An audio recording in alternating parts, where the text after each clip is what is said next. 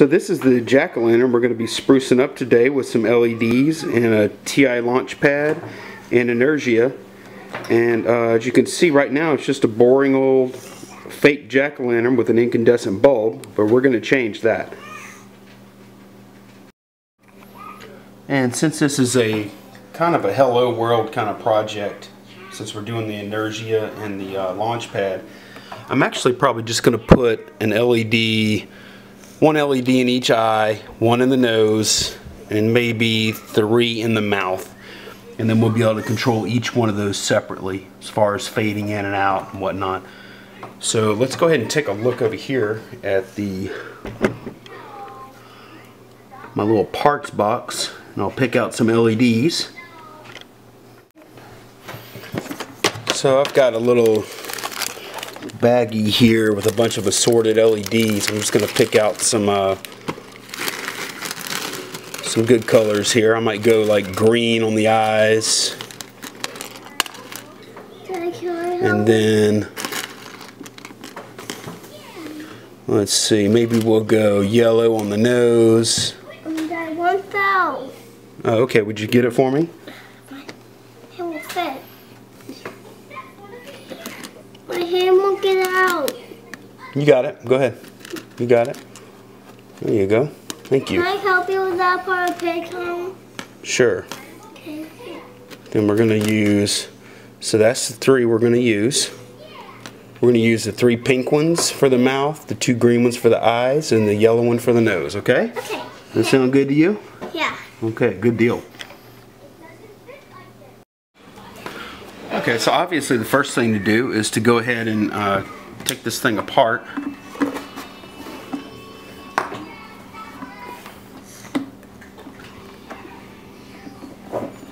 Because we're going to rip the... Uh,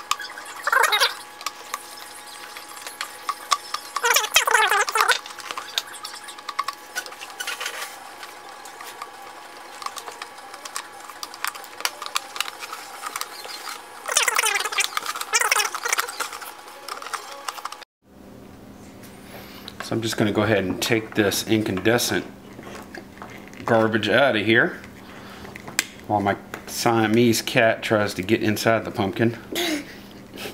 we were just talking about how funny that would be if we uh, stuck that on his head and he walked around with a pumpkin head. I think my daughter would like that. Okay, so we've got the stuffing out of our pumpkin. Okay, so I'm not 100% certain yet how I'm going to actually mount the LEDs. Uh, I think I might use some some foil and some cones and try and like, reflect it back out of the pumpkin, but we'll, we'll see. It's not important at this point. Figure that out later. The important thing now is I'm going to go ahead and take this red and white uh, jumper wire here and solder it to each one of these LEDs and I'm going to leave myself plenty of slack so we have options. Um, so we have options for where we want to mount it because I'm going to put, definitely going to put the electronics probably, probably going to mount it back here. Um, don't really want to put it here. I don't have a whole lot of room there. Uh, probably mount it back here and I'm going to have plenty of slack so I can take the board out if I need to make adjustments, put it back in. So go ahead and uh, put some wires onto these LEDs now.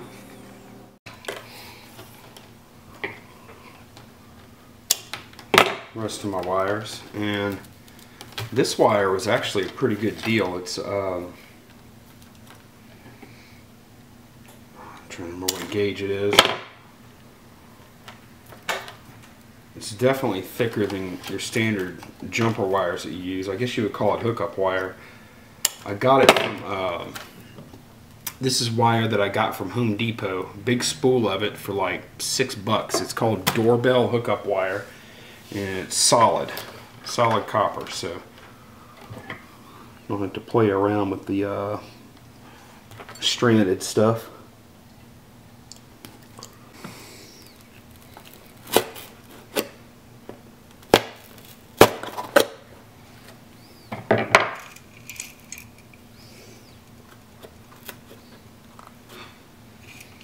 And of course,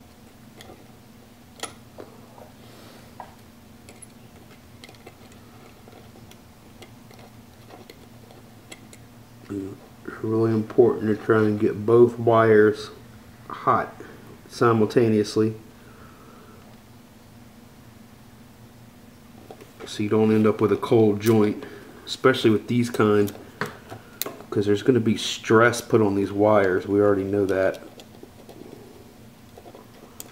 So if you and these connections aren't as good as you would have like on a uh, ah, man that's hot. Ow. So now we have a yellow for the nose. We've got the two greens for the eyes two pinks for the mouth. And now I'm going to go ahead and get the board and we're going to go ahead and hook this thing up to the launch pad. Okay I'm getting my wife Candace to help now. She is currently making a reflector for one of the eyes. It's going to mount inside the pumpkin, like you see her doing there, and it's going to have foil on the inside. The LED will be shining towards the back of the cup, and it should make a nice little glow. We're going to do that on the eyes, the nose, and then a different shape for the mouth.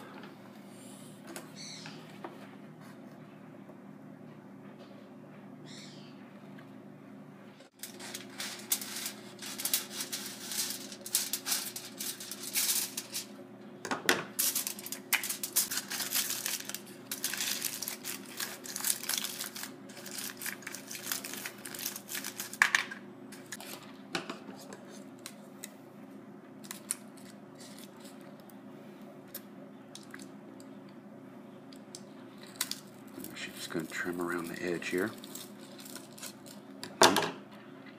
Oh no, here we go. Mounting the LED. And we got to be real sure that the wires don't short out against the foil. I may have to look at that. Insulate it somehow. Yeah, Can I might have to some put some. Uh, electrical tape around each one? no, I'm gonna uh, have some heat shrink. Okay. I'll work on that while you work on some more cups, okay? So that's the idea for the cups. So I'm going to go ahead and get to work on the heat shrink. Okay, so I, I slid the heat shrink over, and now we're just going to use Here, hold it steady. soldering iron to kind of help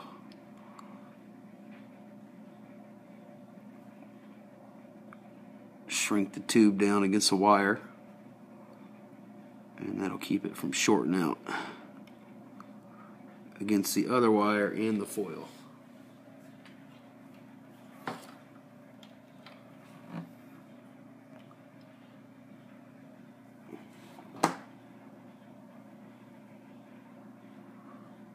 Get nice and tight there, Sarah, and they should be able to see the uh, heat shrink collapsing down against the wire. I don't exist.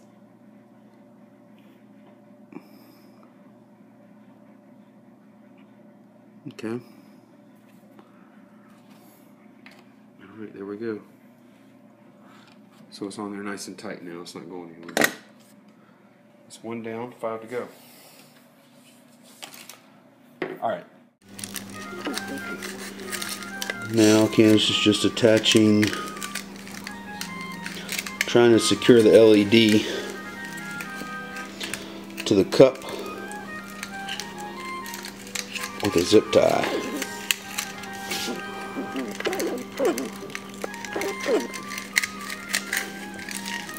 Just want to kind of make sure it somewhat points to the back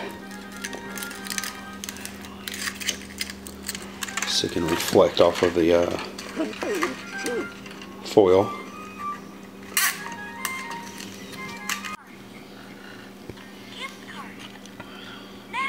She's just applying the super glue. Seems to be holding pretty well in the eyes so far.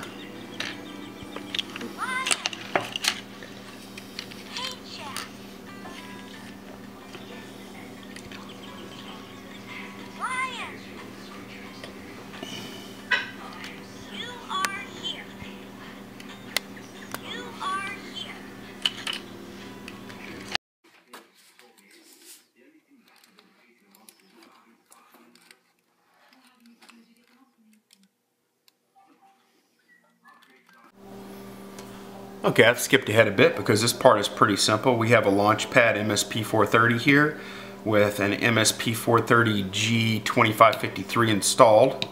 Right here I've got um, these DuPont jumpers which are female on one end, male on the other, going from the uh, ports 1.0 to 1.5 of the Launchpad over to the breadboard. Um, and then I've also got another connector going from just the ground, the common ground of the launch pad over to the ground on the uh, power bus of the breadboard. Now from the pumpkin side, we have the red leads which are coming from the cathodes of each LED going to a 100 ohm resistor that's then connected to the I.O. pin on the launch pad. The anode side, which is all the white wires, they're just simply connected to ground. So this is a very simple circuit. Each uh, LED, each LED has an uh, I.O. pin here on the launch pad, so there's no multiplexing or anything like that going on. We're trying to keep this as simple as possible. So uh, let's go ahead and take a look now at how to go ahead and program this pumpkin up. Okay, now that we got the pumpkin built, we just need to install the Energia IDE and that's pretty simple. I'll go ahead and show you guys how to do it now. I'm going to be installing the Windows 7 version here. You can see they have OS 10, Windows, and Linux versions. And here's a binary file right here for Windows. It's already built. And we just have to wait for this to download. Their server's pretty quick. Okay, so the download is finished. It took about two or three minutes. It wasn't too bad for 159 megabyte download. And now I'll just go ahead and open the folder here and to install all you do is drag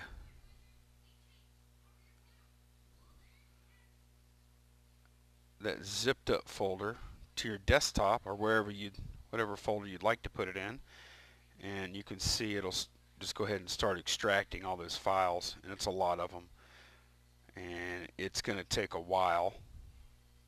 This says 11 minutes and uh, that's pretty close to what it took. I'm running this on a about a three-year-old cheap Toshiba laptop so your, your experience may be a little better but I'll come back when this is finished.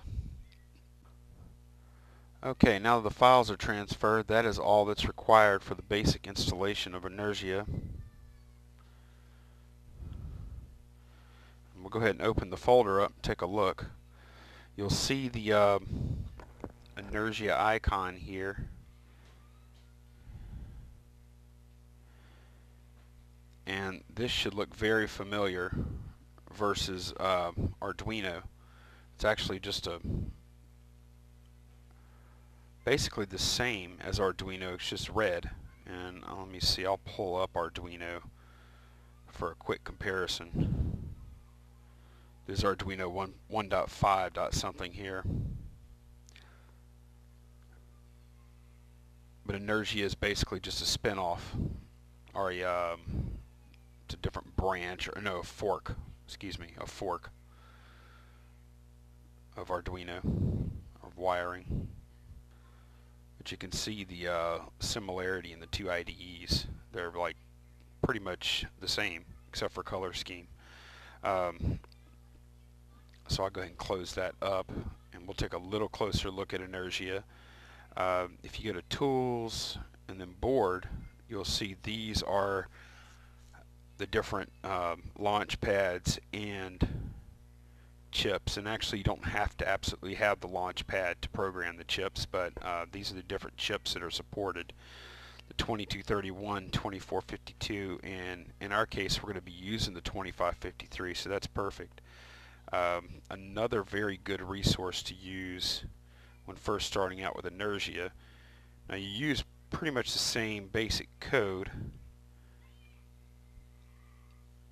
the pinouts, take a look here. Ah, if you go to the Energia website, there is a page where they've graciously provided the pinouts for these boards. That's a 2452. Now it's on two different revisions. Okay, so here is the board and the chip we're actually going to be using is the uh, MSP 430G 2553 and you could tell this numbering system, this pin number, whenever you're addressing the uh, pins in the Energia IDE, you just use these pin numbers and that's fine. I think you can also use the port numbers or you know um, AO, A1, A2, etc. But it's just fine to use you know 1 through 20 pin numbers. Um, that'll work just fine too. So let's go ahead and go ahead and do an example here and we are connected pins 2, 3, 4, 5, 6, and 7 for this project. So I'll go ahead and set those up now. And we'll just do pin mode. I'll do a loop. I'll do uh, 4 i equals 2 i less than 8 and then we'll do i plus plus and we'll do pin mode i comma and we're just going to set all those pins up as outputs close that off and that should be good. And then it's just like regular Arduino. You just click here to verify. And compiles. Oh see I already found an error. And I can declare my variable type right there in the statement of course just like with Arduino. Hit verify and it'll do a compile. It'll give you an idea how much size you're looking at here so we'll go ahead and put I'm not sure uh, at this point which one is which. So we'll do a digital write. Um, do a 2 comma high and then we'll go ahead and I clicked on verify but really I'm just going to go ahead and upload this now it's verified. I'll just want to see which one of these is which. Alright I just want to note one thing um, I actually forgot to set the output pins and to do that you just in the setup portion just gonna do a digital write for each one to be set low there we go then now if because if you if you just leave it then um, there's no telling what state it's going to be in whenever I did a test run all the all the LEDs on the pumpkin were on. So I'll go ahead and give this a shot now. Okay, so here we are trying to do a test run and we're going to light up pin number two, which should be one of the eyes. Not sure which one. Uploading the code right now. Okay, so that's two. And then I'll do a quick change on the code just to test. And we're going to light up three. Okay. And then I'm going to change the code again. We're going to light up four. Should be the nose. Okay, very good. And then we're going to go ahead and light up five. And I'm just doing a digital right high here each time. Okay, and then we'll do six. Looks like six is the left side of the mouth. And then seven, I guess, is the middle. Find out. Yeah, kind of hard to tell, but yes, seven is in the middle there. Okay, so all the LEDs work fine. And we'll go back and look at a little more code now. So I'm going to go ahead and add a little more code just to at least get all the LEDs lit up. I'm going to assume you guys know how to manipulate LEDs in code with an Arduino, but just for fun, I'll go ahead and write just a little code. And I'm going to make a couple of subroutines here called, call this one all on.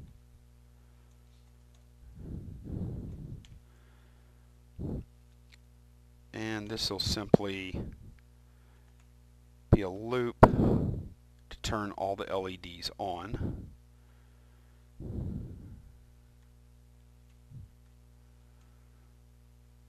And this is pretty much like our setup code was.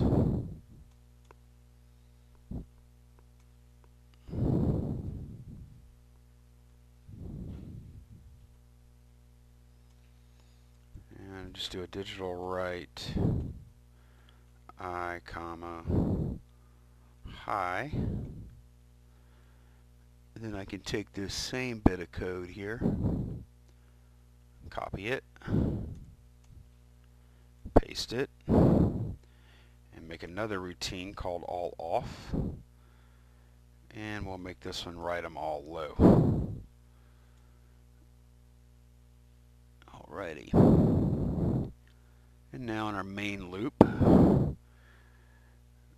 we'll do a all on first. We'll delay 100 milliseconds. I'm going to do an all off. If I can type. And we'll delay another 100 milliseconds and that should just give us a blink blink blink. I'll do a quick test here. Compiles fine. It's not even a K, which is good. And we'll go ahead and go back over to the video and see what the code does. Okay, so we're back at the pumpkin again. Back it up a little bit here.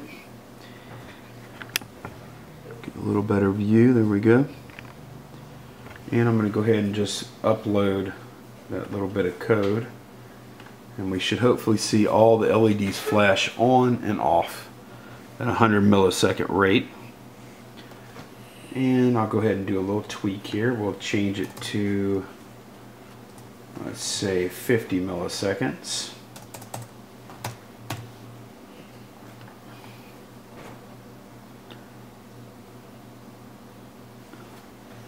Alright, and you can actually, if you go low enough here, if you do a little bit, if you did a little randomization or something like that, you could also make it look like a, uh, you know, flickering type candle or something like that's going on there you go. and You might see some weird effects due to the uh, rate of the video frames here. So this isn't going to be the final code, but you can get the idea of how the uh, Energia IDE works now. And I'll, I'll post the final code and some final video after I finish programming the pumpkin.